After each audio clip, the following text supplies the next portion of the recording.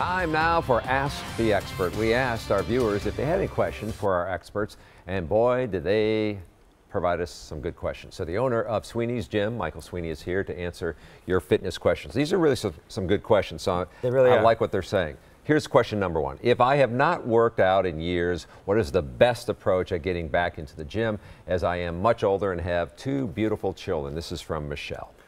All right, so this is what I'll say. So, Michelle, step one is A, I don't want you to be intimidated. So many people go into a mm. gym and they're, they're intimidated. Right. And, you know, they always go in going at 110 miles per hour. So, let's slow it down. Mm-hmm. Let's find a treadmill. Treadmill's simple. You get that treadmill. Michelle, get on that treadmill. You're doing a 3.0 to a 3.5 speed. It's a walk to a brisk walk. Mm-hmm. Week one, that's all you're doing. All right. Week two, you go ahead and you increase the incline. So you don't have to go into a gym and do weight training and, and crunches and, and all of that. So Because if you overdo it that first week, you're going to lose motivation over time here. absolutely. Start slow, build. You have to be realistic. So you have to crawl, you know, before you walk, yeah, and walk then you before and then you run, and Absolutely. run before you So sprint. so to really hone in on that question is this: the first four to six weeks, find a treadmill Mm-hmm.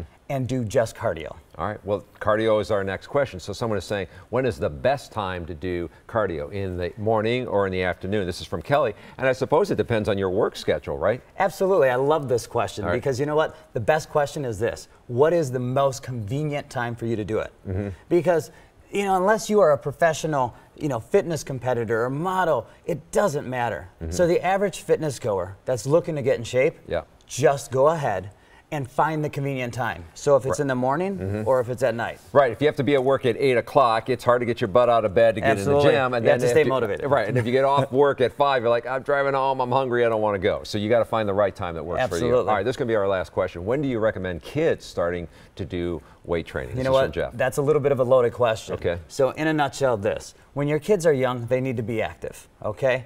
And anything body weight, so your basic push up, pull ups, things of that nature, maybe even body squats. Once your kids hit around six, years old, okay, depending on a lot of scenarios, you go Mm-hmm. Ahead and you can incorporate, you know, some weight training movements with five or maybe even eight pound dumbbells. So it really determines. Yeah, start with the low weights before you build up to you have ones. to stay that way. All right, good enough. If you have a question for our experts, email them at AskTheExpert at today'stmj4.com. You can also leave a voicemail.